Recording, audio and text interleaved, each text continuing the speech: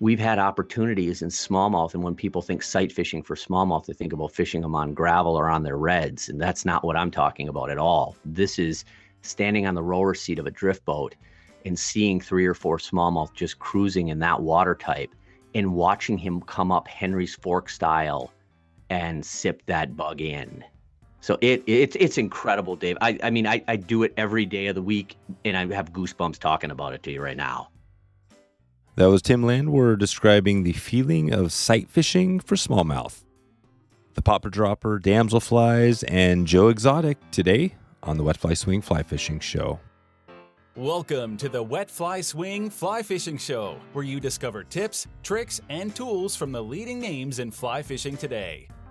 Hey, how's it going today? Thank you for stopping by the Fly Fishing Show. Uh, take one quick moment right now, and if you can, share this episode out there with one other person. This one is going to be huge. If you haven't heard about some of these uh, techniques and tips or heard about Tim, uh, definitely, or know somebody that uh, wants to learn how to take smallmouth to the next step, definitely share this one out. Click that link down the bottom and, and click share.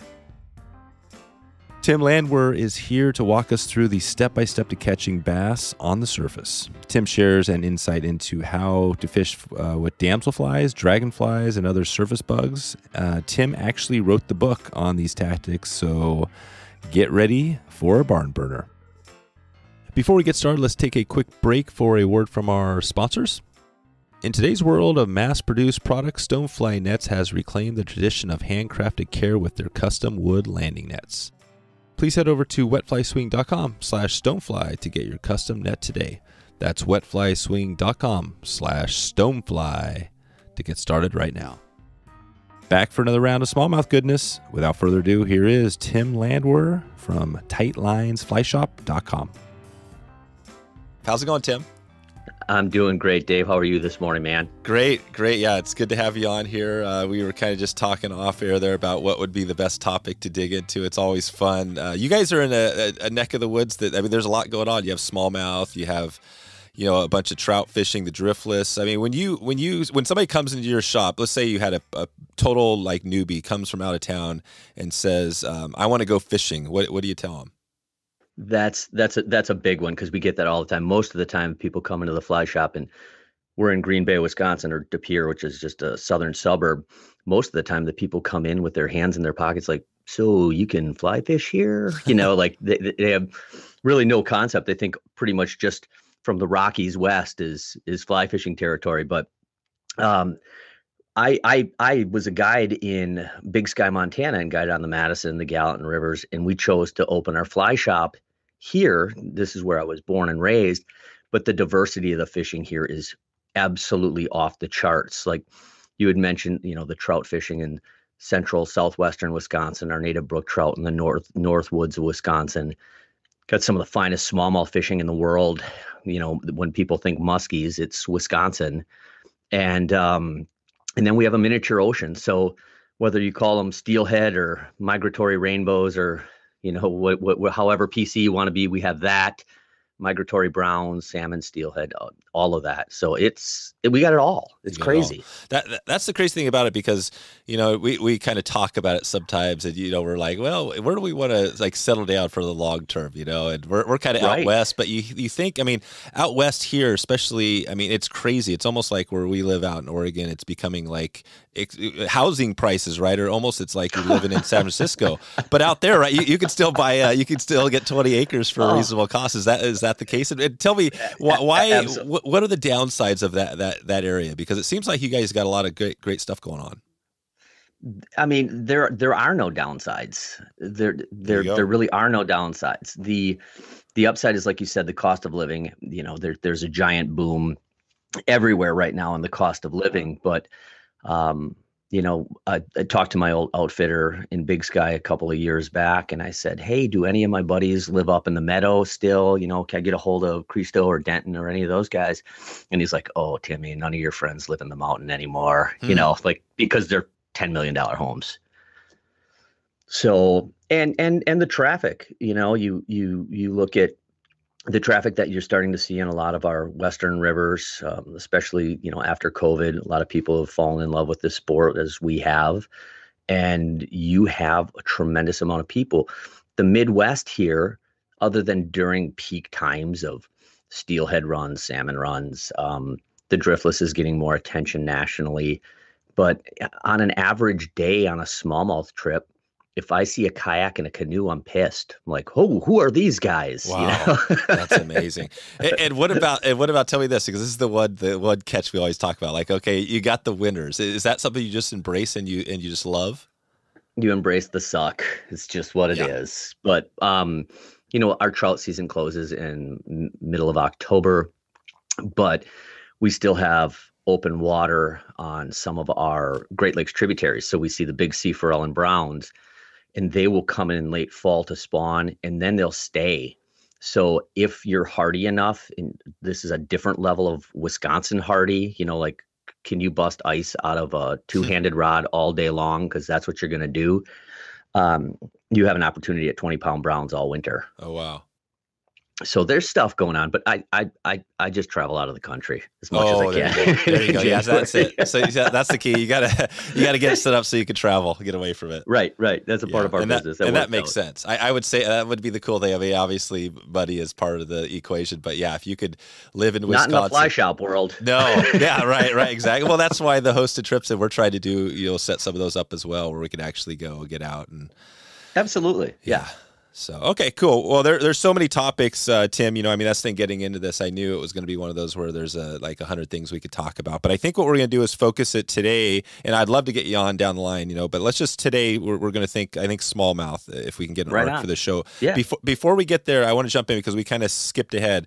Just take us back really quick because I want to hear your story, uh, fly fishing, how you got into it, and then how you came to own a fly shop. Well, I got into it like a lot of people did in in Wisconsin, where you fish bluegills with a bobber. You know, the the difference between the popularity of fly fishing out west and the popularity of fishing in the Midwest comes down to basically a cultural thing. Chances are, if you grew up in Montana or Colorado, you had a fly rod in your hand at some point chasing trout. Where in Wisconsin, it's not the case. I mean, you you fished with a red and white bobber and a Snoopy pole, and you caught bluegills, which I did with my dad and you know, my my whole life growing up. And I was probably 12 or 13. My grandmother had a cabin in northern Wisconsin, and my cousin and I just started dabbling with fly fishing and catching mostly rough fish and just started tying flies and and like it just fell in love with it and my passion from that just grew and um, i got to the point i was not ready for college i was not cut out for that scene emotionally or mentally. I was too concerned about the Hendricksons or the Sulphurs at that time. And um, I got a job at a bank and I worked in a bank as a lender for about two years and then realized I am not a bank guy. I quit. I loaded my truck and drove to Big Sky, Montana the day that I quit without any plan. And um, luckily, I ran into an outfitter out there who I got to be good friends with who offered me a job to guide and it kind of grew from that. And I met my wife out there, and uh, we moved back here. She finished her undergrad here, and instead of taking the money we had saved to buy a house and kind of do what you have to do, um, she said, "Let's open the fly shop. Let's do it." And there was no way I was going to fail because when your wife says, "I believe you can do it," like you better make it work.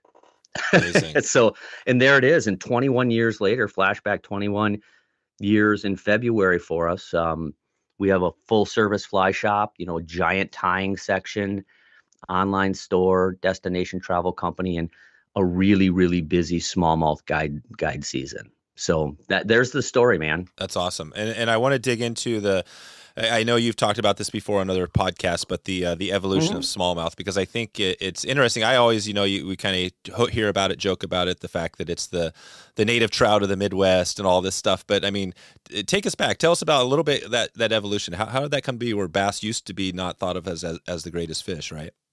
I think that's the story right there, Dave. I mean, we look at the popularity of trout fishing, and when I told you that people come into the shop, like, what do you what do you fish for? That is the assumption in our sport. It's a cold water sport. And uh, when we go back in time, like go back 20 years and you think about smallmouth, you had guys like Larry Dahlberg, um, Dave Whitlock, Harry Murray, these guys who were doing it at a different level. Um, but even back then, the fly patterns were so different. And in fact, everything was so trout centric that we took what we knew from trout fishing, like small woolly buggers, and like we basically tried to put um, a round peg in a square hole. And it worked well enough to give people enough success. And that went on for years and years and years until we can go into you know how like some of the bigger streamer patterns came to be and some of that stuff but you fast forward now and you look at what has happened with like Blane's game changer and the advent of the Dahlberg diver head and um, you know patterns specifically designed for smallmouth and and targeting them and it's been just mind blowing to see how quickly that has kind of come about um, a little earlier, you and I were kind of giggling a little bit about it, but years ago, there's a really good show in Michigan. Uh, I think it's the Warren, Michigan show. I was there. I'll tell you when it was because my daughter's going to be 17. She was in a baby carrier. So she was two months old. And we went to the Warren, Michigan show. This is when we were kind of only been in the shop for about four years. And we set up our booth for smallmouth bass, talking about guide trips for smallmouth and um, I've mentioned this on a couple other podcasts, but I I almost got laughed out of that show. Like smallmouth, like it was. It, it and I just look back on that as such a poignant moment of like, oh my god! And then you look at what it is today. What what is it today? It's a real deal. Yeah, is it more people? Are there more people now doing smallmouth than, than there are uh, trout? Um, I I would say our sport nationally is still you know, a trout sport. However, we have people traveling from all over the country to fish smallmouth that are just like our trout junkies that traveled everywhere for, um, you know, for for for trout. You know, they, they travel here for smallmouth, and that has been really interesting. And it's a big deal here. I mean, it's a really big, and it's not just a big deal in Wisconsin. Smallmouth has become a big deal all over. The Midwest is now the out west of what trout is. The Midwest is to the smallmouth bass fishery. Because I know I know on the West Coast, um, I gave a talk there about uh, something or another years ago, and in a lot of those areas, they're invasive. You know, if they've been they've been planted, and that's a that's a real uh, touchy spot. But but on our rivers, like you had mentioned just a little while ago, like that smallmouth bass is as native as our brook trout. Oh yeah, and the millions of dollars, the millions and millions of dollars that like Trout Unlimited at a national level and at state levels have to do to create good spawning gra- good spawning habitat, things like that. The amount of effort and work that it takes to create good trout water is a Herculean task. Where smallmouth, they've held their own through deforestation. You know, I mean, it's it's been crazy. The Algonquin name for smallmouth is Ashigan, which is the one who struggles and I think that's pretty badass. That is. They're they're yeah, they're definitely I don't know how more much more resilient, but they're definitely more resilient, right, than salmonids. That's that's kind of the thing about them. So it's likely probably yeah with with uh, my guess with climate change or whatever goes on with all this stuff and we're going to talk a little bit at the end about some of the conservation stuff you guys mm-hmm, have going mm-hmm. out there but but yeah i mean smallmouth bass will likely be the ones that that potentially thrive during these situations i mean do you guys see that? Do you see the impacts from some of these conservation things impacting smallmouth at all? Deforestation and things is is is devastating you know like the menominee river boundary water that we guide on a bunch was deforested entirely. It was actually called the cut cutover and on both the Wisconsin and Michigan side for 114 miles of the Menominee and then another 126 miles of the Michigamme was completely deforested of white pine. Like it was it was stump a stump field. And the smallmouth still survived through all of that. Now mining and things like that, you know, poison, nothing can live in poison, but um, they're they're incredibly resilient. And there's some groups that are doing some great work. Um, Smallmouth Alliance doing great work introducing smallmouth into some of these other streams that are too warm as cold water assets and and uh, and stuff like that. But a, a, lot less goes into it. The only thing that goes into it that's really important is uh, fighting for uh, good regulations because they're an old fish. In our rivers, a 17 or 18 inch smallmouth could be upwards of 14 years old plus. So. Amazing. Mm-hmm. Yeah, that's crazy. Okay, well, let's just start this off. uh, You know, from the the, the seasons. Well, uh, you know, like right now we're we're kind of getting going into the, the winter time. What does smallmouth Yep. look like throughout the year? When when is the best time, and how how long are you fishing this throughout the year? Well, our smallmouth season had traditionally opened the first Saturday in May, and that has changed now um, to I think it's catch and release. I think it's all season. I don't know. We catch and release anyway, but um, but it had always been that first Saturday in May. Now, that particular time of the year for us in a lot of places like out east, like they're catching smallmouth early, early because of their water temperatures are much warmer. But for us, we're we're in the Northwoods. A lot of this water that's coming down from these reservoirs, even the first part of May, might be you know off of a frozen reservoir, so it's it's cold. But I would say our season starts out with that pre-spawn. Let's just say first part of May for us, and and any of your listeners can figure out like okay, it's probably April for us, but or for them. But um, at that time of the year, what we'll see is we will start to see what we call like it's the summer diffusion, where some of those fish or the spring diffusion, where some of those fish will start to drop out of those deeper waters and reservoirs and start looking for spawning areas. Not not ready to spawn, but they're heavy and they're looking for for those spawning areas. So it's a trickier time. You have an opportunity at the biggest fish of the entire season because the females are loaded. You know, they're they're quite a bit heavier, and um, they'll start looking for those spots. So at that time of the year, it's primarily more of a dredging game, a little deeper, heavier stuff um, to to to get those fish to to bite. But you're going to get your biggest, your heaviest fish of the entire season. Then you then you start moving into it, and then they start to spawn. And what we have done as a shop is we've basically taken a two week reprieve where the guides just stop guiding during that period of time, the best that we can, obviously, um, and let them do their their business because they are 100% wild and native. So after the spawn, some of the females, once we get into June, some of the females will get a little bit haggard, a little bit raggedy until they start putting some of their weight on. But for us, because of our river and the shallow nature of um, our particular body of water, it uh, it's it's suited really well for top water. So I would say during the guide season, eighty percent of our fishing is on the surface. If I were to collectively take that from the guide community, and we'll start getting smallmouth when water temperatures already hit like fifty degrees on poppers. Fish slow, um, but after the spawn, um, into June and then the first part of July, we start rolling into really, really consistent topwater action with migrations of dragonflies. First part of July, the damselflies start coming off, and uh, we have an opportunity at you know fish that are in their happiest p- state of mind. You know, they're they're, they're Yeah. it's like their summertime. There it is. Yeah. Yep. And then um, once we get into mid September, daylight hours start to change, get shorter, water temperatures start to drop. September and October can be exceptionally good smallmouth fishing. We just have to change tactics up a little bit and and and go a little bit deeper for them before they start heading into those deeper reservoirs where it's it's more of a um, a, spinning game or a fly and float game, that kind of thing, which a lot of our customers aren't that fond of. Yeah. Oh, I see. And then and so basically, come November, December, I mean, things are pretty much shut down. Yeah, I mean, you, you can still most certainly go get them, but um, it's a it's a different game. What I love about the smallmouth is like the nature of the fish, the aggressive, cool nature of the fish, and when you take that off of them, it, it's it's it, it's not as much fun. You know, May- Yeah. maybe that's just just me speaking broadly, but that's I, I like to see the bite.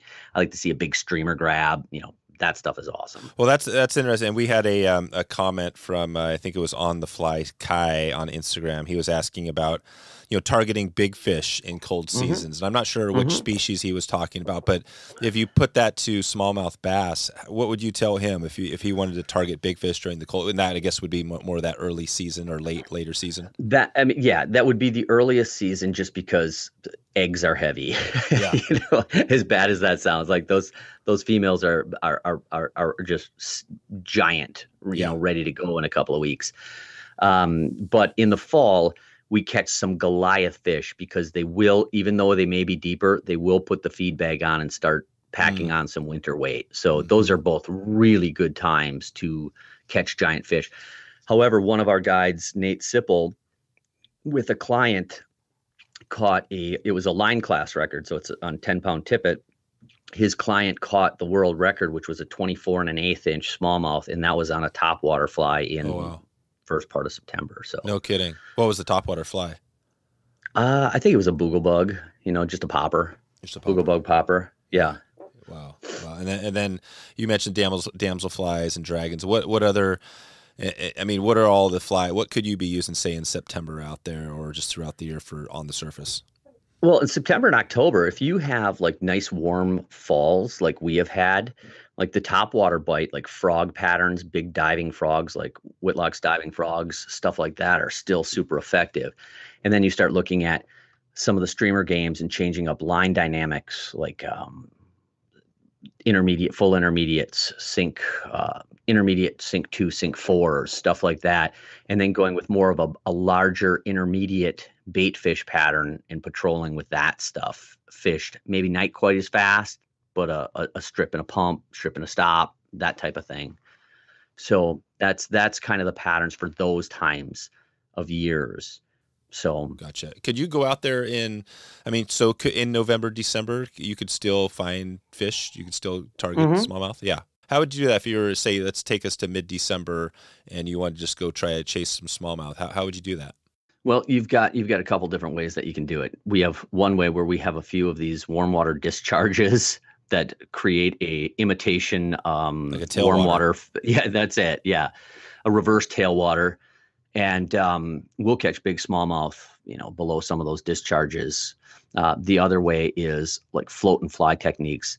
A buddy of mine, Chuck Reagan, does a bunch of that stuff for more passive fish for stripers and some of that stuff too but it's basically an indicator with a small jig style streamer on it, fish slow and bumped in some of the deeper holding water where those fish have migrated to. So you, the hard part is finding those migrating um, sweet spots. You know where these fish hang in those sweet spots, and then you're if you find one, you're going to find twenty No kidding. So, and these are Yeah. in the actual in the river.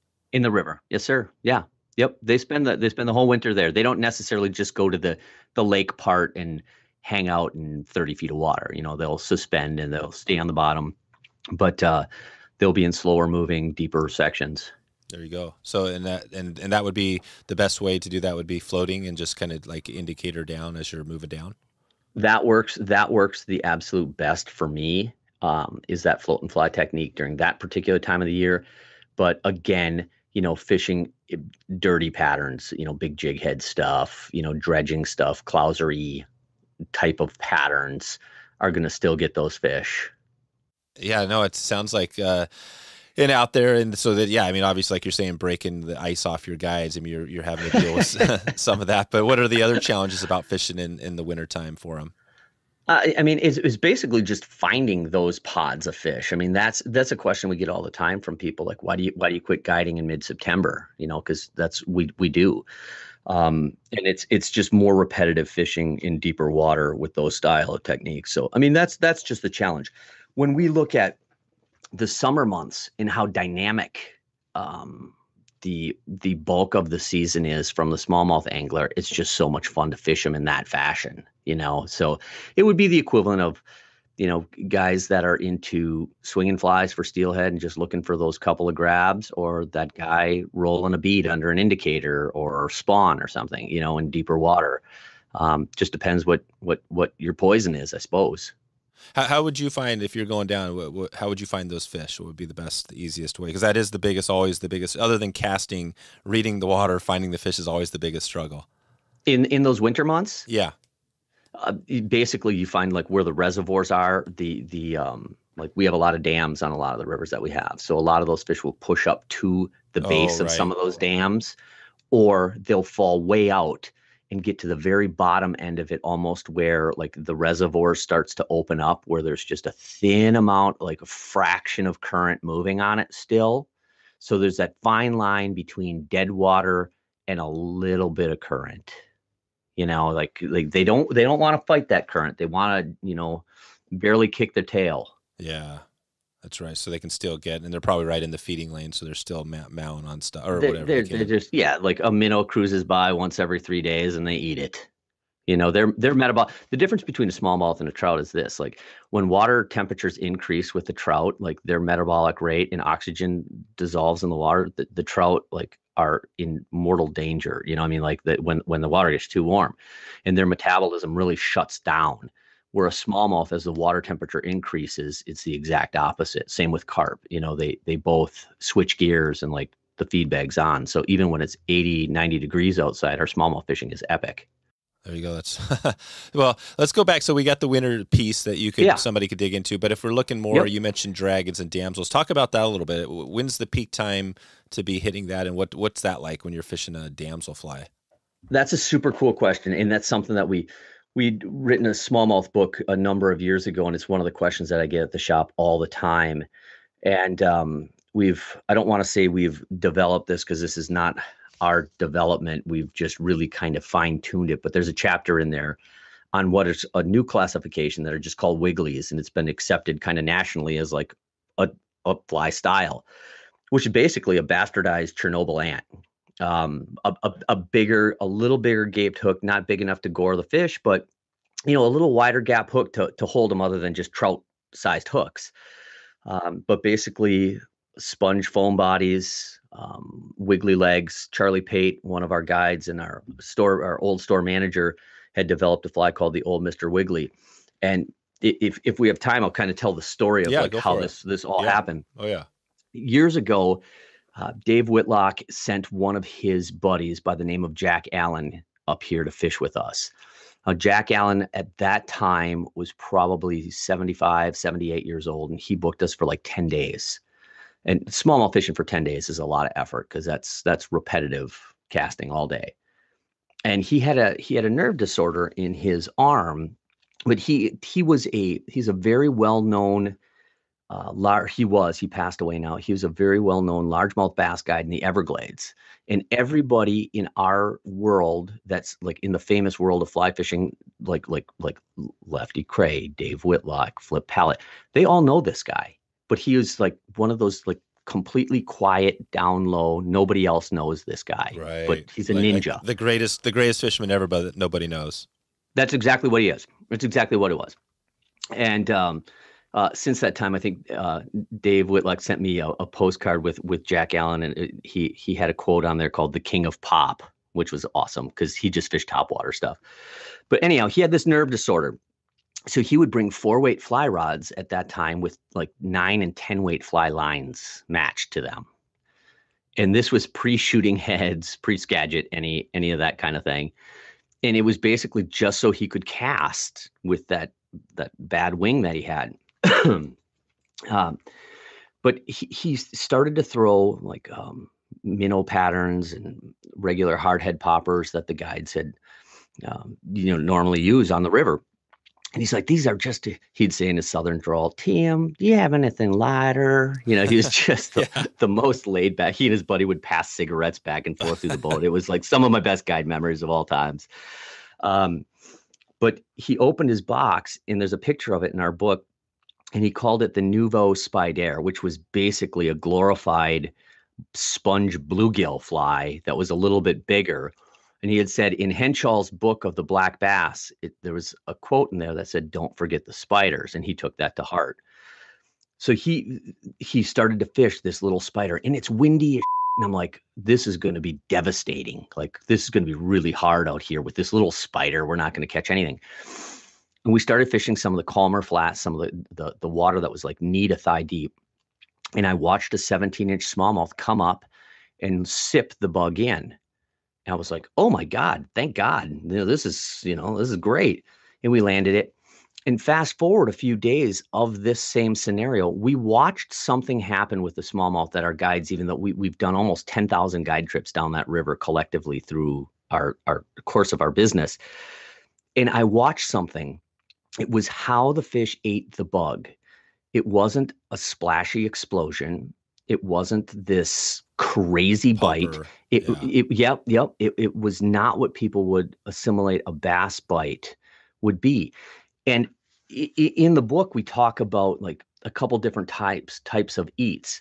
In this particular eat, we've classified as a confidence eat, which the fish is so certain that it's real that it has no reason to explode or anything. So they come up and they just eat it.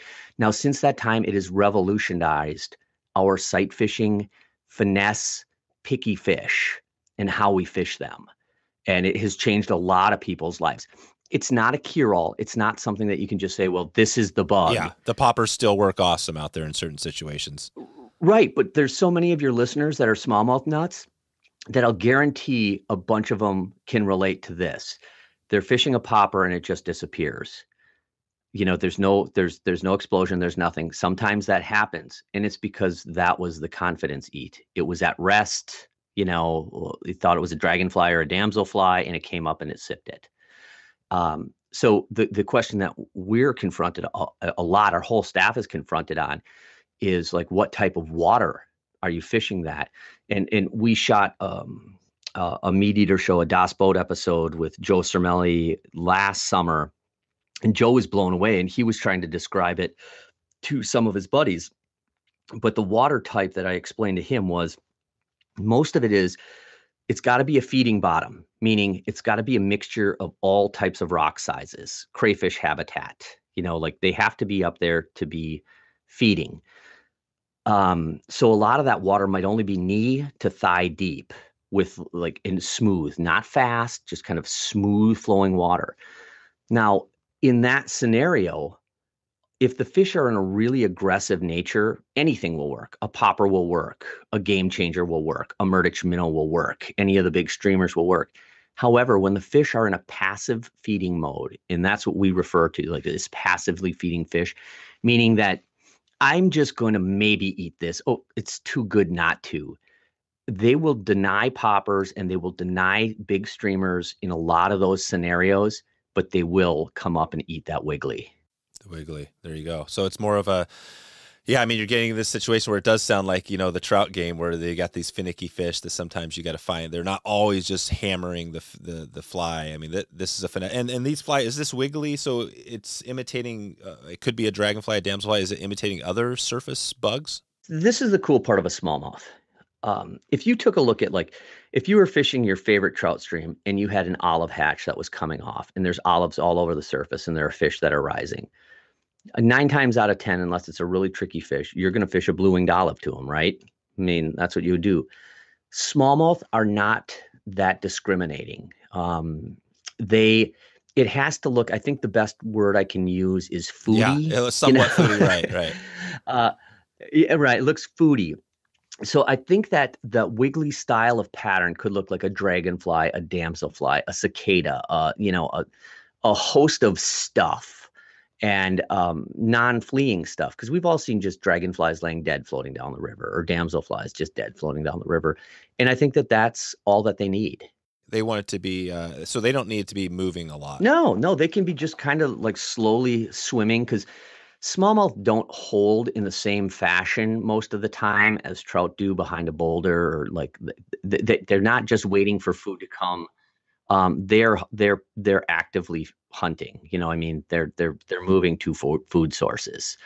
So i think that that's the difference. However like what that has happened for our staff and for our, more importantly our clients that have fished with us it has blown their minds because we've had opportunities in smallmouth. And when people think sight fishing for smallmouth, they think about fishing them on gravel or on their redds. And that's not what I'm talking about at all. This is standing on the rower seat of a drift boat and seeing three or four smallmouth just cruising in that water type and watching him come up Henry's fork style and sip that right. bug in.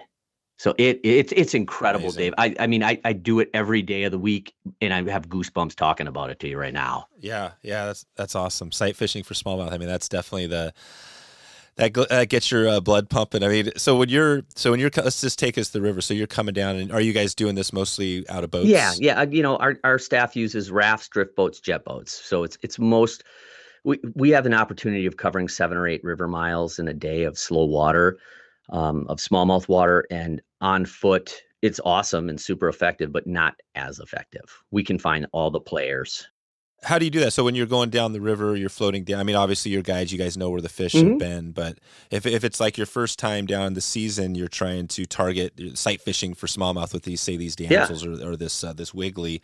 How are you? Again, back to the thing. How are you finding the fish? How are you seeing the fish and, and getting? Started? Well, our water is really clear. It's tannin, so it's red, but it's red clear. Um, so. The, a lot of the times our guides just kind of know where the fish are going to live in certain situations. It might be swaying eelgrass weed lines with maybe a sand bottom, but there'll be fish in the pockets of those weed lines.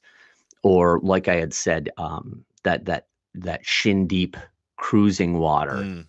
Yeah, just find that water, right? Yep. And and the hardest part of of of doing that on foot is perspective wise, you know, you're you're you're down so much more and out of the mm-hmm. boat. Our guides stand on their seats an awful lot looking and that gives them a, a better perspective to do that.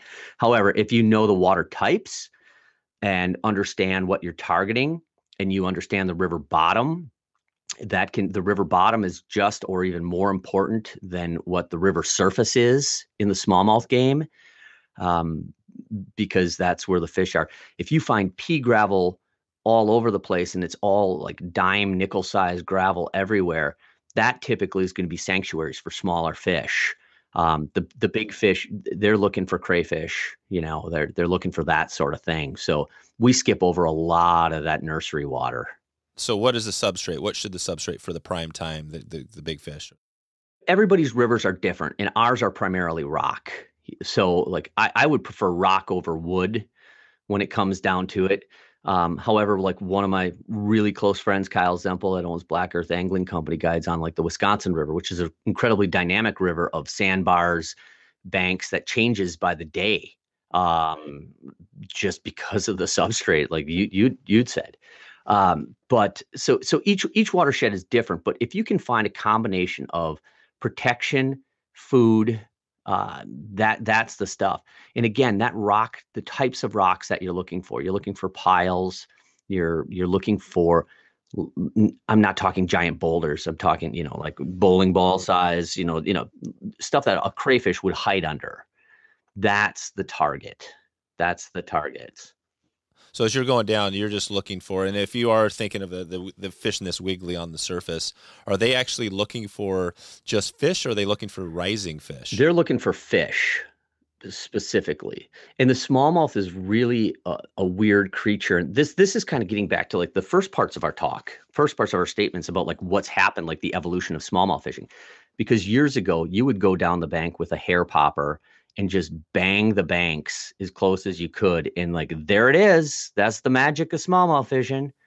Uh, Almost like large, just like largemouth. Yeah, fishing. yeah, and and it's it's changed. It's changed so much uh, because of like some of these techniques, like the big streamer game, the articulated streamers. All of that has added to like uh, us being able to target these specifically as a creature, as its own specific fish and um, and that is that is the fun part of it is learning those details. And those details truly truly have only started to arise in the last 10 or 12 years where it's been taken seriously by millions of anglers. Yeah and probably the uh yeah, I'm not sure. I mean, obviously, we're doing a podcast now, but just the uh, access of information probably has helped get the word out, and people have learned about things. And you mentioned you mentioned the MeatEater podcast. I'll put a link in the show notes to that. And we've had um, we actually had uh, Larry Dahlberg and uh, and Dave Whitlock nice. on in past episodes. Nice. Yeah, I'll link I'll link out to those. They were we didn't talk too, but I mean, Dahlberg obviously he dug it. His real point was. Um, you know, he didn't make a distinction between any of the fishing. He was just like, it's all fishing. It doesn't matter if it's fly or gear right, or whatever. Right. Well, Larry is probably the most fishy human on the planet. He is. Yeah, yeah. What what is what makes him from from your perspective? What makes Larry such a such a powerhouse, such a unique uh, guy? You know, I I don't per I, I I've met Larry. I don't know Larry, but just from my my perspective, you probably have friends like this, Dave. You have friends that are just fishy I mean, like right. you've got good anglers, and then you've got a couple buddies that are just inherently fishy dudes. Right. Like he drips with fishy dude. And um, Larry, the thing that I admire about his style is what what he said, and I actually listened to that podcast that you guys did with Larry. Oh, nice. Um, his perspective is like he'll float a sucker for muskies. He'll he'll fish a double cowgirl, you know, with musk, and he'll fish all of it super effectively because Larry wants to understand the fish at a different level, like on all levels. And then you can circle back with that knowledge to I mean, we've been robbing we've been robbing stuff from the gear world steady in in in in, in every facet of our sport. They got it. I mean, especially well, I mean all species, but yeah, I mean bass especially because you think of the bass circuit and how dialed in those guys are with whatever. I don't even know, right? But oh. I mean, they can catch they can catch fish like crazy. It's embarrassing. And, uh, I mean, like we try to emulate it, but like how how how however, like on the flip side of that, like I I live in smallmouth mecca. Like I have the Bay of Green Bay. Like these guys have caught a couple of eight pound smallmouth in tournaments, which is like a freaking grouper. Hmm. And I have watched something in the shop that's pretty interesting.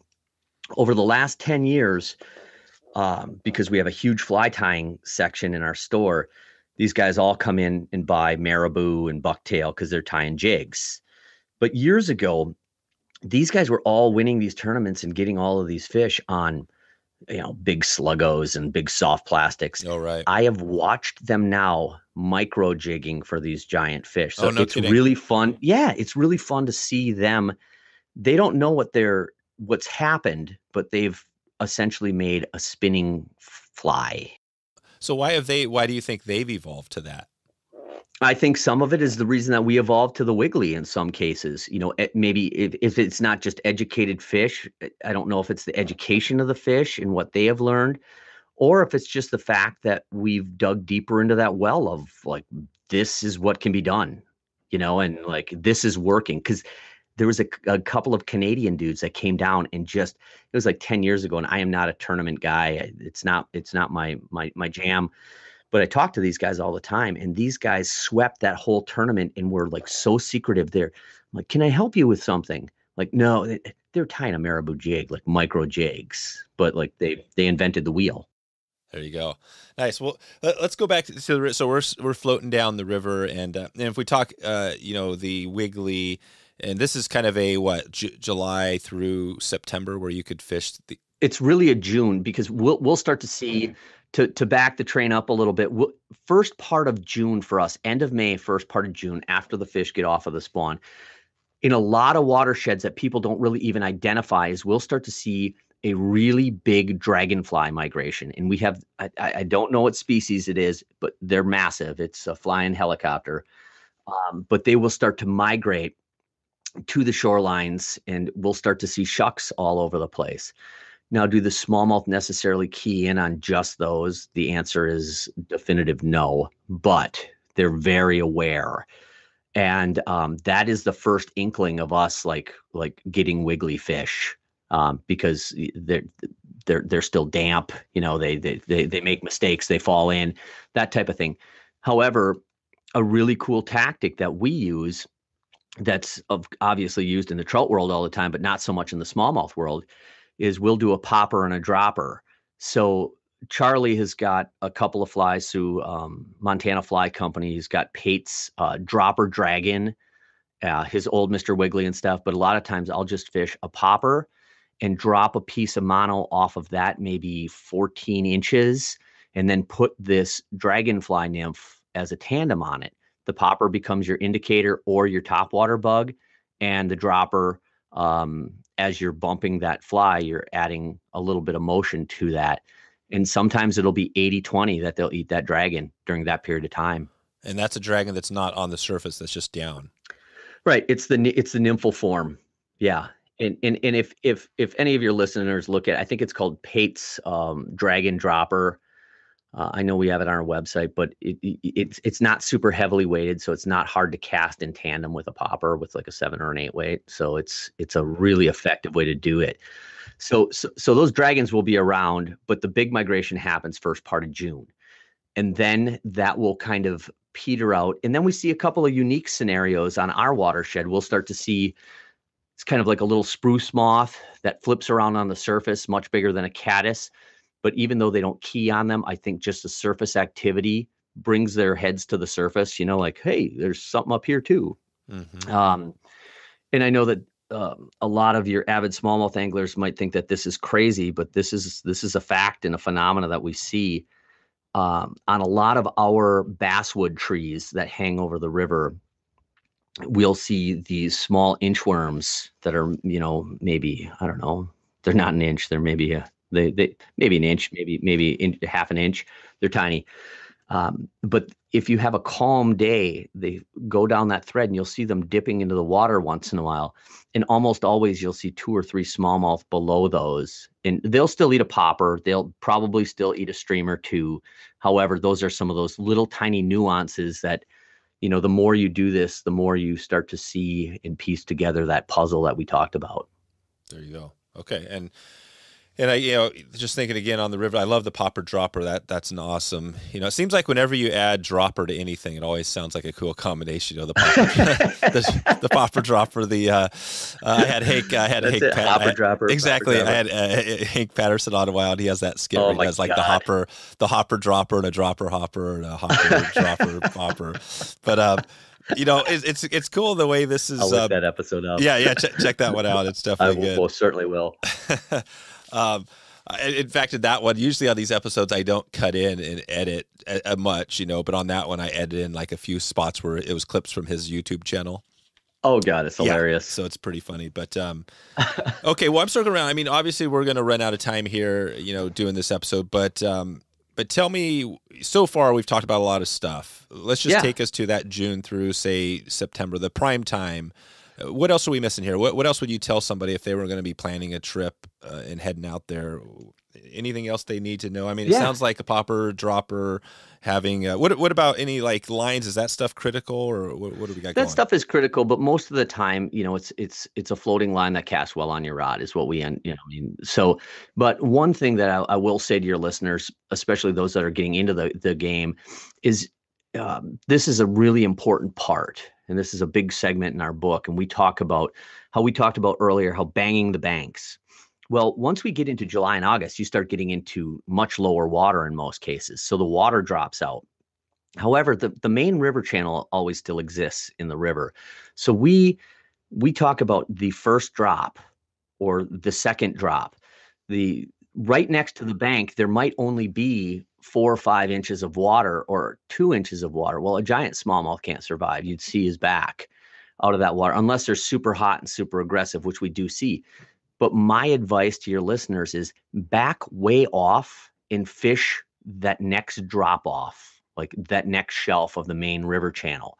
And a great way of doing that and executing, especially if you, you, you don't know all of these nuances or you're just getting into it, if you fish like a bigger streamer, like like Charlie's Evil Snowflake or Nabby's Minnow or or uh, Murdich minnows, game changers off of those ledges, cast on the shallow side of the ledges and bring them off of those ledges. Those fish will be on those ledges transitioning into a little shallower water, but they'll hunt there. So all summer long, you can play that game all summer, seven days a week.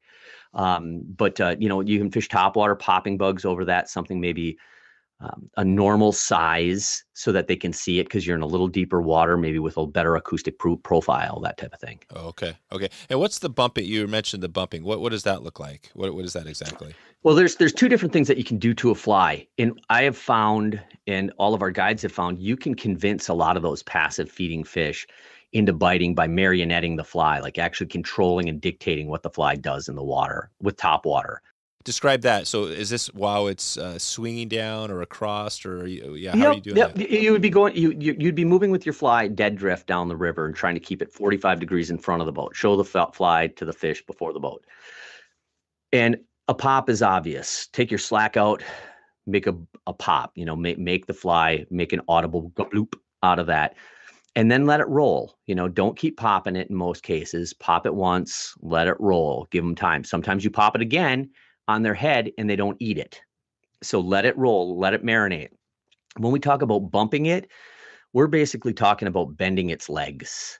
Like no pop, no nothing, just move it. So sometimes we'll see a big smallmouth come up on our bug, and if I pop it, he'll sink.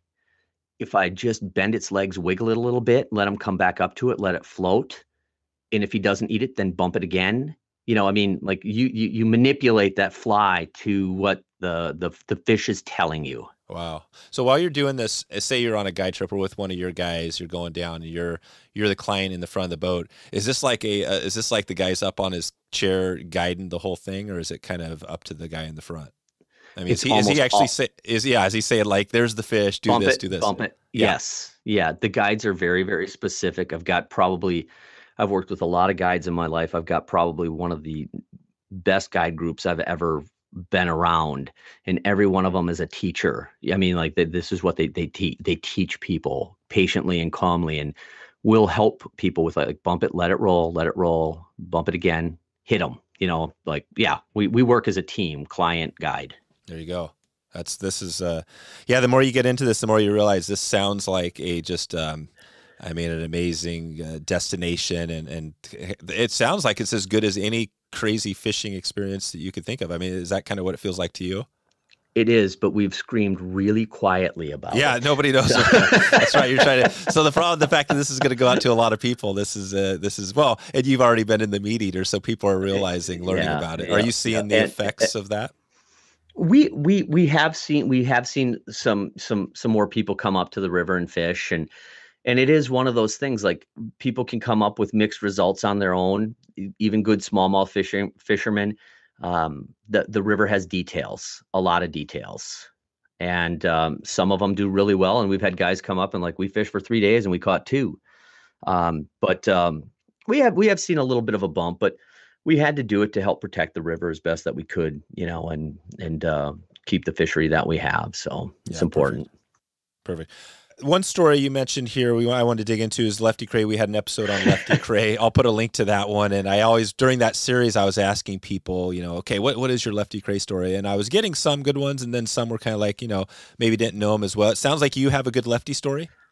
I do, Lefty. I, have I've been lucky enough to get to fish with a, a number of these these legends of our sport, you know, and me being a nobody, but these guys are like it's jaw dropping to get to fish with these guys and hear stories. Uh, Lefty fished with us for a, a lot of years. Uh, came up to fish smallmouth. It's still his favorite. Was still his favorite fish, and um, he and his it's it, one of his physicians who's a great guy. I think his name is Mark. It's his one of his best friends was with him, so he was with his physician. And Lefty was 92 at that point. Maybe oh, he was wow. 91. Yep, still still giving her. And they had just changed his medications because he had some heart some heart issues that was no secret among anybody. Mm and he changed his medications. And I was on a two boat trip. It was Nate in another boat with two of Lefty and Mark's friends, and then it was Lefty and his physician. And Lefty at lunch, we were only halfway, not even a third of the way down the river. And Lefty at lunch is like, "I'm, I'm Tim. I'm feeling a little bit dizzy." Mm. And his physician, Mark, came over and he said, "Lefty, you're having a heart arrhythmia right now." Oh wow! And there is nothing worse as a guide for anybody to Jeez. have that situation. But at that point, I had no motor on my boat, my drift boat. It's just a big push out. And I talked to Mark, and we were not terribly far from, we were actually maybe only 20 minutes from a hospital like if we needed to to get to that point and mark's like well we have to get we've got to get his medication back on so i took my cooler out of the front of my boat and I put down all of my life jackets so he could lay down so he could elevate his feet. And Mark is he's his doctor, so he's kind of directing me. And Lefty is fading in and out of like sleep or consciousness. I don't know. But I can tell you there is nothing more stirring than looking in the front of your boat and thinking like I'm going to kill the Babe Ruth no of kidding. fly fishing today. so I rode us out and Lefty would keep saying, "Timmy, how much more Oh, like wow. lefty about 10, 10 more minutes. God damn it. You said 10 minutes an hour ago. oh, wow. but so, so long story short, we got him down. Uh, his doctor got his medication back on track for him. And like, but I remember lifting Lefty out of my boat, laying him in the back of the, you know, the, the, the back seat of my, my pickup. And uh, it was the most horrifying day of my entire life. And he, I mean, the next day of obviously he didn't fish the next day, but um, that's that's my lefty story. Wow, that's yeah, and lefty is. Uh, so did be before this? Did you uh, did you know him a little bit? Did you fish for, uh, with him before? Did you? Um, yeah. Yep, I'd I'd fished with Lefty for a number of seasons. He would come up um, each season and fish with us for three or four days with a couple of his buddies for smallmouth. So what was um you know we talked about this a little bit on the past but lefty was such that he was a bigger in life guy and he seemed Yeah. like he was everybody's mentor what, what to you what do you remember about him what was unique about lefty Well, you know, everybody who's met Lefty knows his stories, and like they're just unbelievable, but they are real. Like I remember him telling stories about, yeah, I was in Cuba and we were, I was with Hemingway and we were going to have dinner with Castro. I'm like, are you? Sh-?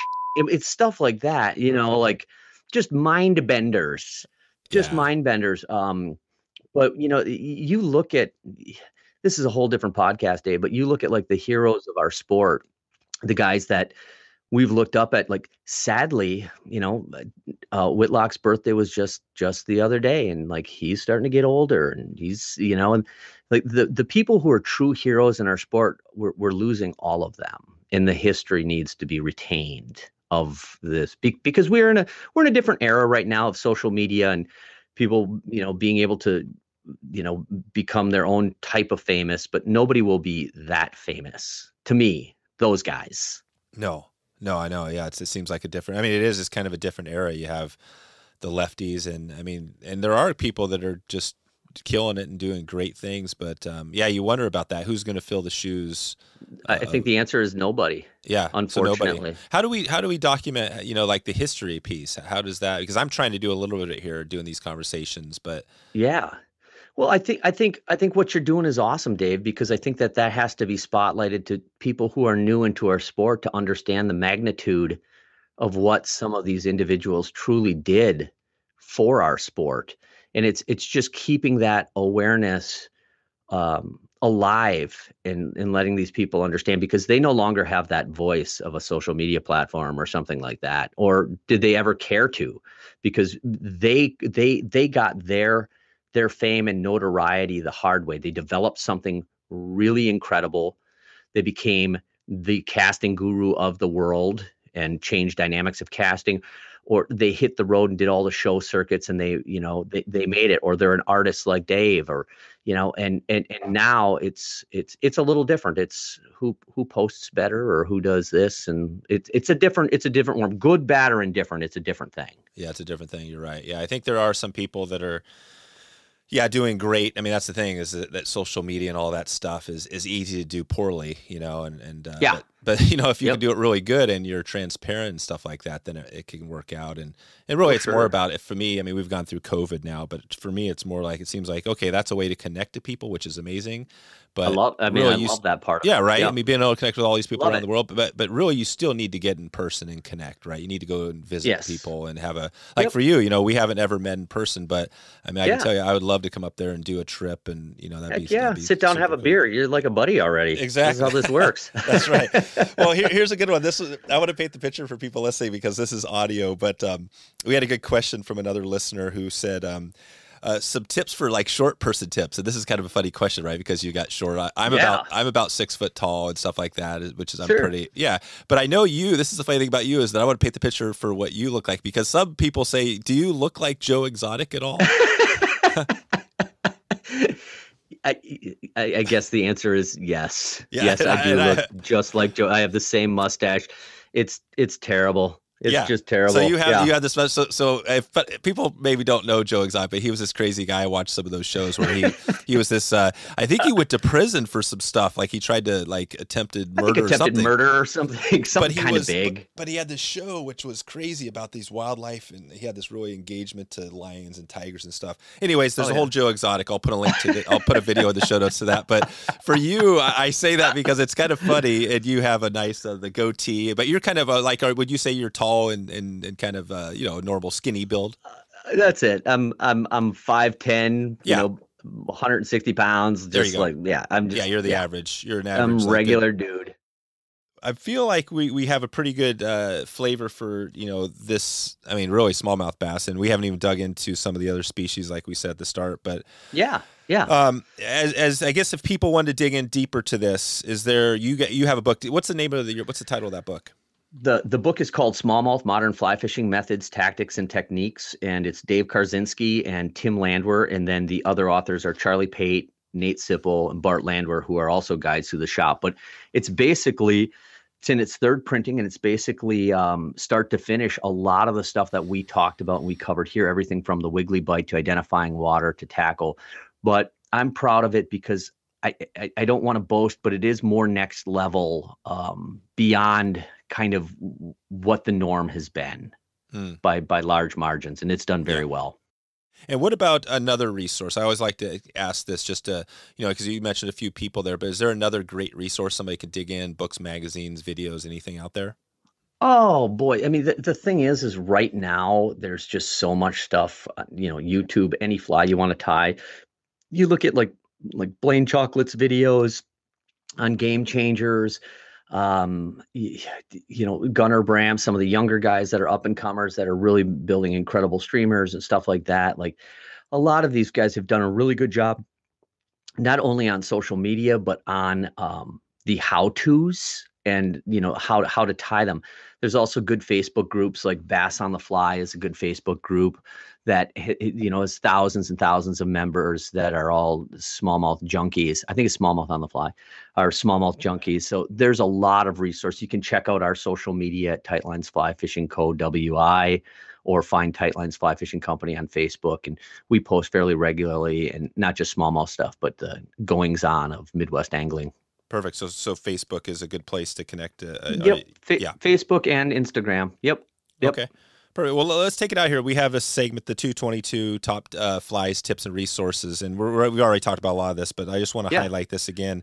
So, fly wise, we we mentioned the wiggly. Would you toss? Uh, what else would you put in there with if you had a couple of flies you were going to take? Okay, here, here's here's here's going to be kind of my my my my top five or six here. Yeah, let's do it. We're going to talk about like the wigglies in a number of colors. They they do them in four colors, so like I won't go that deep, but like wiggly style patterns, booglebug poppers Montana fly poppers, the Murdich minnow, the game changer, Charlie's evil snowflake and brownie. They make them in two colors, and Nabby's minnow. That's seven. Seven. But I, I think that I think somebody could go to most any of our resources with those types of flies and have good luck. That excludes like dredging patterns like clousers and stuff. But during the prime months, like that's gonna that's gonna do um, the majority of what a guy is going to need to do to be effective.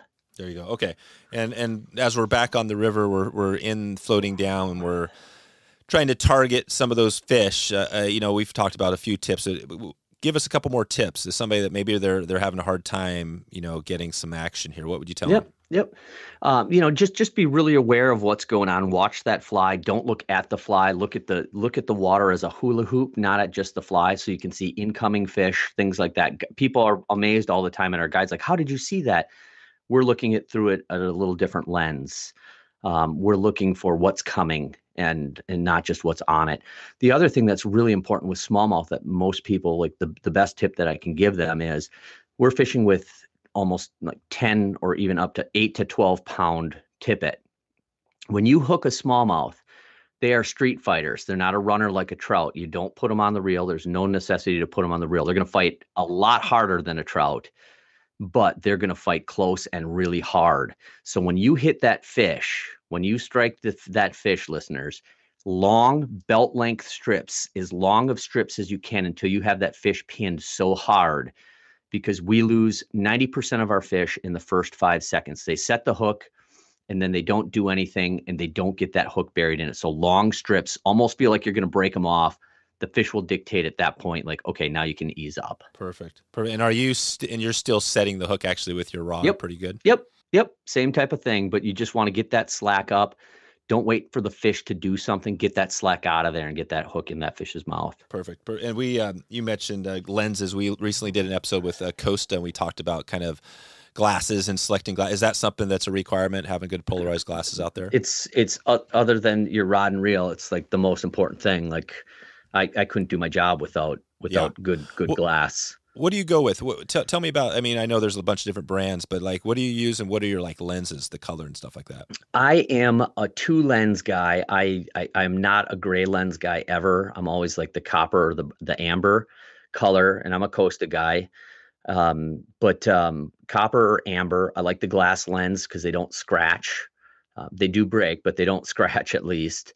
And I also carry a pair of like the I think the color is amber. It's it's like almost yellow. Low light situation stuff is is is pretty key because those early mornings, those those nasty days, um, it's not as good looking through uh, tinted windows no, during that no, time. that- that's something I've always had. I've always been the two lens, and I've had, um, you know, even before I had these Costas, which are pretty cool. Um, yeah, you know, I always had a, a yellow lens because, yeah, when you're out there and it's uh, almost dark, those yellow lenses are the only thing that really is going to let the light in. that's right? it. And you have those days where it's just like a crappy overcast day Yeah. all day, raining on you, and they're just happier lenses. So, so we'll skip uh, the resources we talked about, probably your book and um, Yep. and Blane and some of the videos. Those are some good Yep. ones. Um, yep. Let's just talk as we take it out of here, um, just on the conservation piece, the Smallmouth Alliance, and uh, Yeah. and you also mentioned Sawyer because they were a sponsor uh, this last year to talk Yeah. about their aura and that alliance. Just just a little bit. Give us a heads up. Absolutely. Well, we I had an opportunity along with uh, Matt Stockton, who's a really incredible artist. You should get him on the podcast. Incredible artist of of, of great nature from Michigan. But uh, I was talking to Derek, and I know that you had Derek on the show a while ago. Derek's a buddy of mine, but I am their Oh, cool. Sawyer ambassador for the Midwest with their oars. And because they are a very conservation oriented company, it was really a cool opportunity that Derek and I had talked like, let's do one of your artisan oars. They've done steelhead, you know, Pacific Northwest stuff to help raise money. So we teamed up. I talked to uh, Stockton about some art, and he got it to Sawyer, and they Sawyer now produces a uh, a square top artisan, and I think uh, I, I think a couple different oars with that smallmouth graphic on it, and a portion of those proceeds go to the Smallmouth Alliance which is you know basically a, a, small organization right now, but doing what needs to be done for conservation and regulations, et cetera. So really a cool partnership and the finest oars. I mean, Yeah. I'm not Oh, saying yeah. that because I'm their ambassador. I I pick those oars. I could tell you, I uh, I've been I've used all sorts of oars in this last year. I I picked up those uh, square tops, um, and uh, part of the reason I got them because I knew my kids they struggle with my own oars on the drift boat rowing. They're Yep. they're like nine and seven because they're so Yeah. heavy. But these square tops, man, I mean, they could actually row because they're kind of counterbalanced. super super light and i've got a couple of my buddies that are running the uh the sawyer bandits which are i, I think they're like a pound and a half a piece they're, Oh, they're the ridiculous These are yeah. yeah um but but the square tops that that's a question that we get like do you like the square tops versus just their their their round shaft? And i like the square top because a lot of times when i row if i'm standing i put the oar behind my leg to kind of like maneuver or or row. And it's just it's a good spot behind my knee or just pushing with the palm of my hand. I like the feel of that flat piece on there. It's just That, no, that's a great point. I, I'm I'm curious on your boat. So, are you guys working? Um, are you doing drift boats there? yeah yeah it's, it, it- we do drift boats rafts and jet boats but like i would say the primary uh, workload is done in a hard boat yeah What's the um? And in fact, I'll put a link to it. We had a whole. I did a little mini se- podcast series on uh, the history, like drift boats and stuff like yeah that. But cool uh, that was part of the reason when I connected with uh, with Sawyer and and uh, but yeah you know part of that was it's really interesting history, obviously. But what, what do you go? What are your boats? You guys have a mix of different brands. We have a mix of different brands. I have been for the last 22 years, uh, like a diehard Hyde guy still, and I, I really like the Hyde Low Pro XL for my needs because it's a bigger boat than some of the skiff stuff. But the bigger, the bigger boat, we have some significant whitewater on a couple of our pieces of, of river that can be a class three or almost dipping into a four with a huge wave train in it. And even with that low pro, like I, I can roll that in extremely big water. And my customers, because I've been doing it so long, my customers are getting older and I like the ability to have a bigger footprint inside, you know, for for for customers and stuff.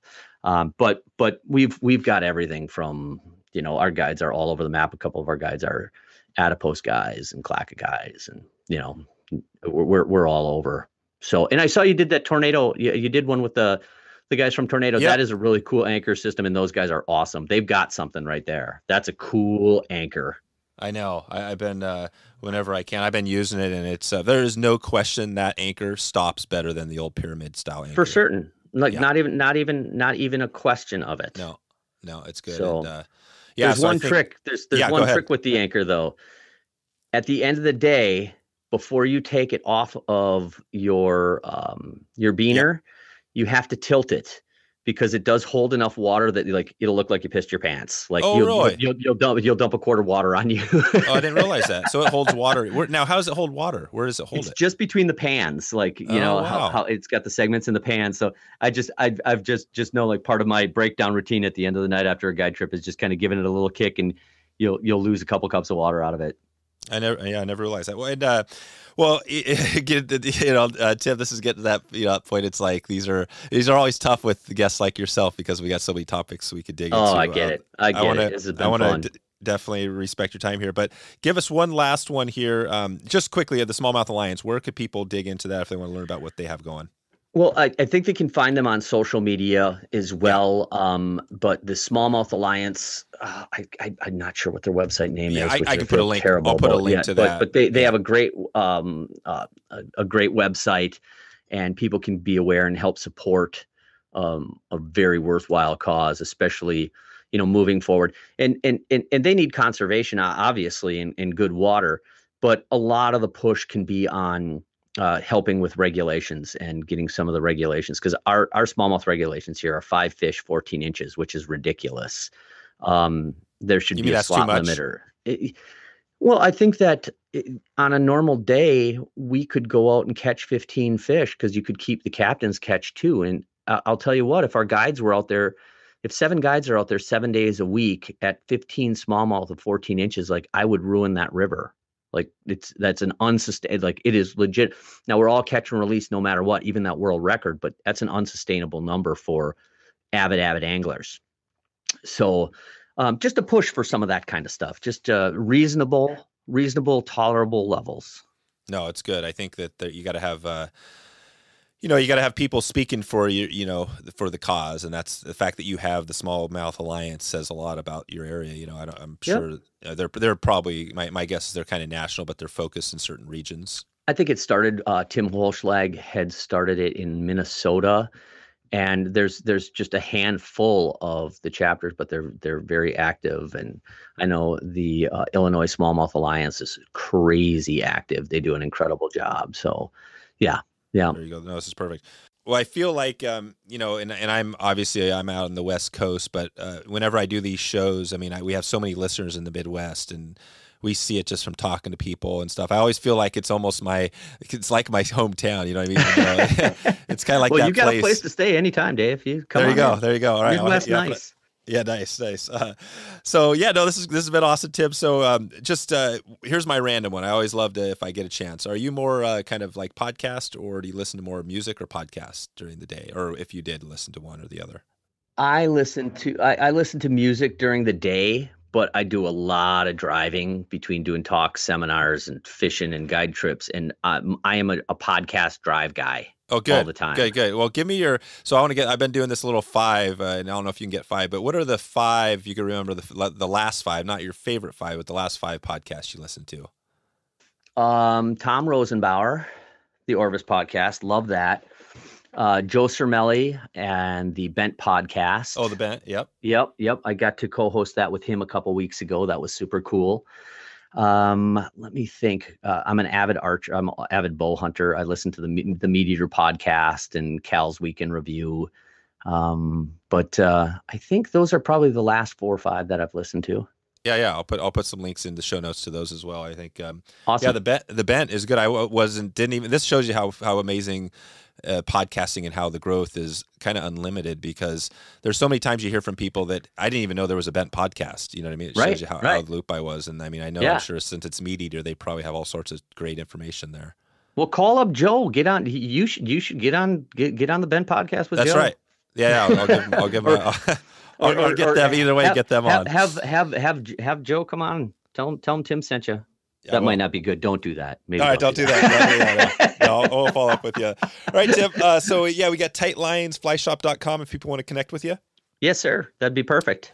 All right, man. Well, I will definitely keep in touch with you, and uh, maybe if we could put something together, uh, you know, or at least at nothing else, promote what you have going and get the word out and get a few more folks up your way. But yeah, I want to thank you for all the the time today and everything you've done in the last twenty years. Uh, you know, kind of Well, doing good you, stuff brother. in smallmouth. Yeah, it's been good to I- talk to you. I appreciate it, man. It's been a it's been a pleasure talking to you. It's like talking to an old friend. So this has been a lot of fun. Awesome. All right, Tim. We'll talk to you uh, soon. All right, Dave. Take care, buddy. Bye bye. So there you go. If you want to find all the show notes, all the links, and everything else we covered today, head over to wetflyswing.com slash 273 273. Click that subscribe button if you haven't already. If you're new to the show, you want to hear the whole back catalog, get new episodes, just click subscribe and you'll get updated when that next episode drops. And right now, we've got another Fly Shop Friday episode coming at you, coming at you strong uh, in two days on Thursday. Fly Shop Friday on Thursday. Uh, Brian Fisher from Sonora Fly Co. is here. He's going to walk us through the seasons in the Sierra Nevadas and um, and a little bit on Yosemite, uh, some good California stuff. Back to California tomorrow. Click that uh, plus symbol if you're in Apple Podcast, and uh, and I guess uh, not subscribe. Follow the show. Follow the show on Apple Podcast. That is it. That's a wrap. That's all I have for you today. Uh, appreciate you for stopping by and uh, checking out the whole show. Looking forward to catching up the next episode and seeing you online or on the river. Thanks for listening to the Wet Fly Swing Fly Fishing Show. For notes and links from this episode, visit wetflyswing.com.